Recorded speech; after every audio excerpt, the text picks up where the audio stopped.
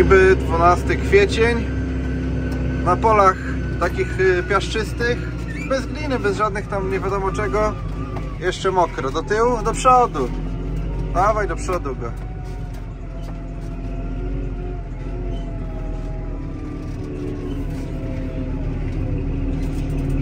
Wedle zaleceń Jakuba lecimy na nasze 5 hektarów kontrolne rzepaku. Litr na hektar hubry, biostymulator. O, petarda. W zeszłym roku miałem. E, mikrusy, gluko, cynk, czyli cynk. Zoosant krzem, czyli krzem. Krzem to już też znany temat. y, Na przymrozki dobrą robotę robi na pewno. No i kontaktówka, jeśli chodzi o słodyszka. Akurat y, raz w koło na jednej działce obrzeża nie zaszkodzi dodać, bo słodyszka sporo rozrabiamy i rozrabiamy na polu. Nie no, nie rozrabiamy, tylko pryskamy. Jednak ciągniemy do tyłu. Z przodu nie ma za co złapać. No i talerzówka będzie stawiała duży opór, bo, bo trochę siedzi. No na mokre kawałki taka talerzówka to ciężki temat, bo podniesie i ona ciągnik od razu siada. Coś takiego lekkiego jak ten kultywator do drapnięcia. Tak żeby ciągnik nie odczuwał. No i zaraz zobaczymy co to będzie. Co za rok? Co tu się w tym roku wyrabia? Chodzi o te wtopy.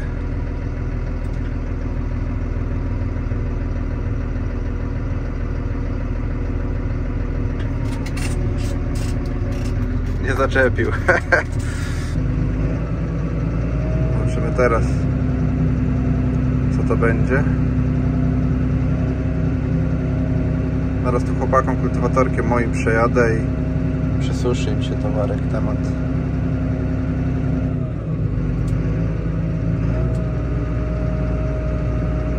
Dawaj. Lina nie wytrzyma.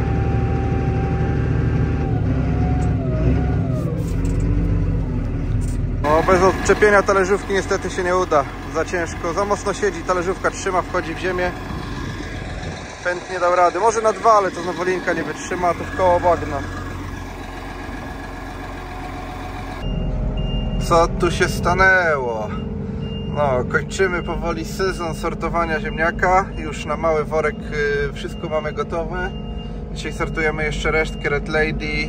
No, trochę tam w kalibrze takiej 30-55. Trochę grubasa y, luzem. No i działamy już. y, Bunkier wystawiony na zewnątrz, już garaż się opróżnia.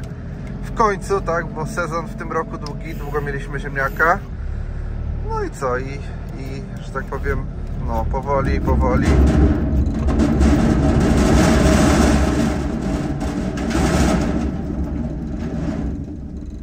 No, pełna skrzynia była taka full. Jeszcze raz to muszę przerzucić, żeby te grubsze właśnie odebrać.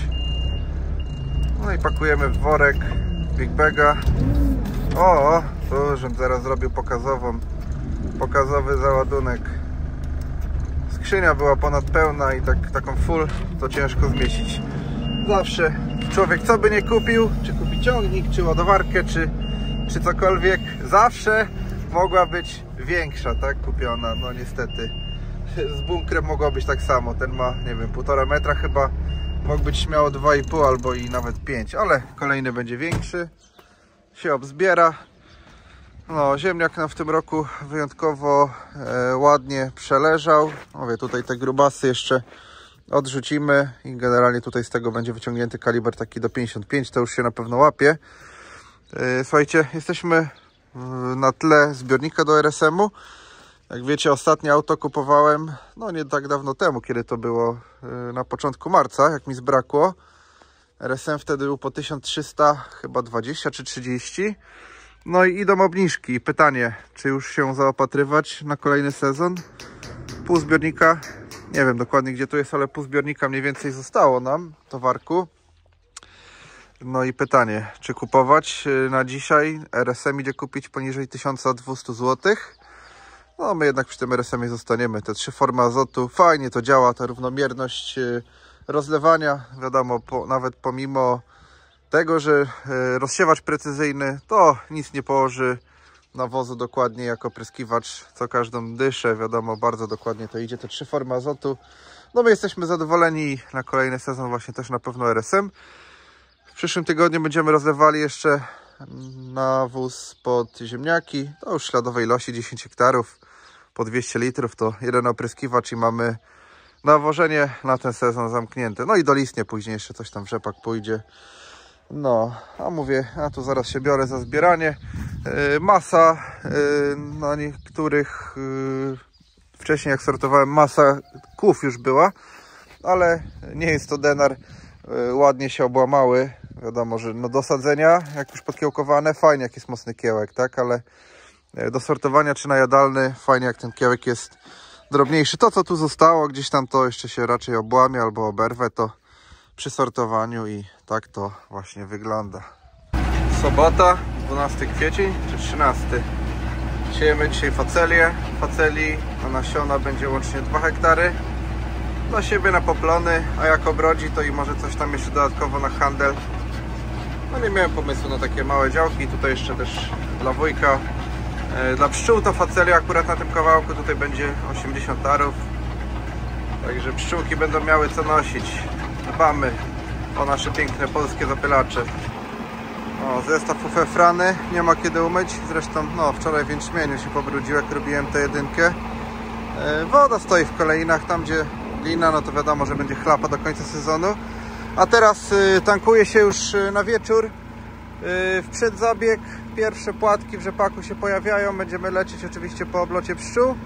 E, No i leci e, Tazer Propak, czyli azoksystrobina i protiokonazol. E, Nie dawki tak jak tutaj podane po litrze, tylko po pół litra na hektar. To myślę, że na dwa tygodnie ochroni. Za dwa tygodnie pewnie trzeba będzie wjechać na pryszczarka. E, No i rozrabiamy sobie ciecz i jedziemy e, pryskać.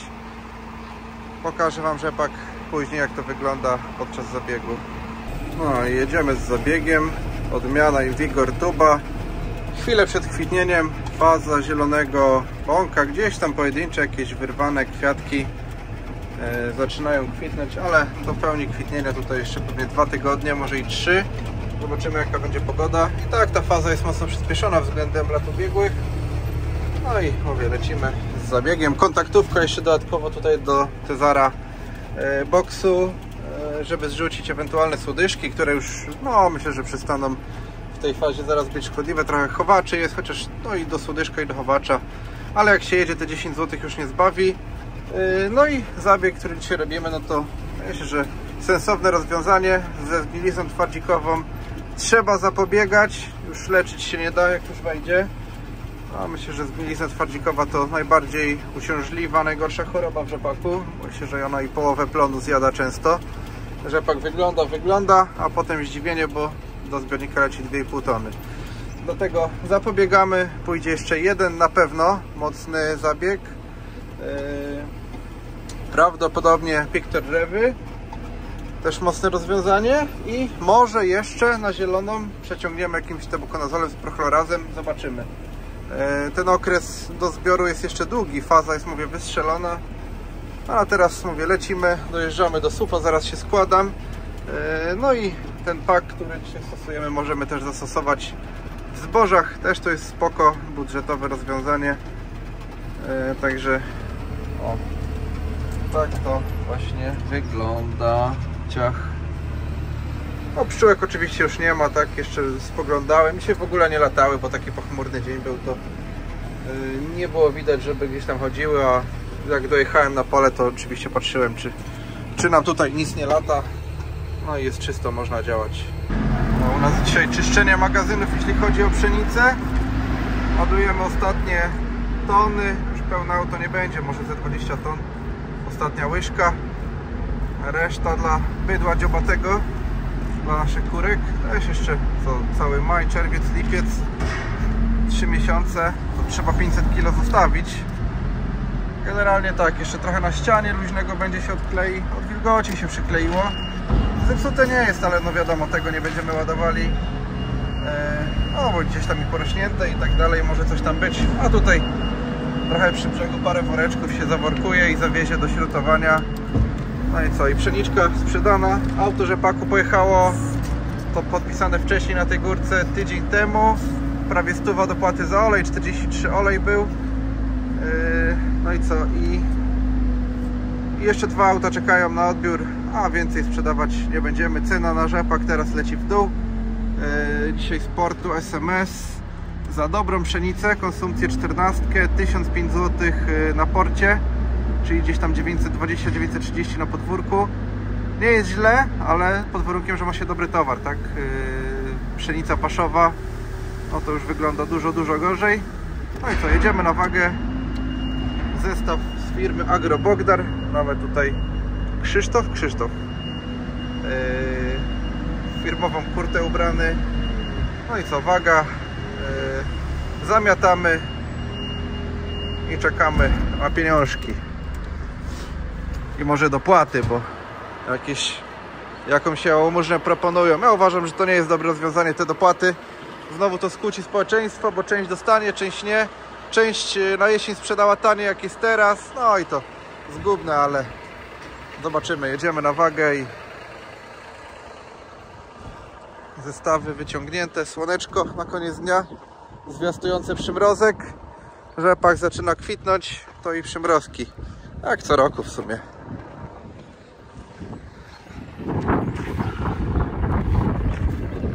Nie Krzysztof kierowca, a Robert, przepraszam, Robert. Co mi się z tym Krzysztofem rzuciło? Co, będzie 20? Będzie. Brakowało jak przyszłem 10. Aha, o, no to, to nie. 14 300 ważył pusty.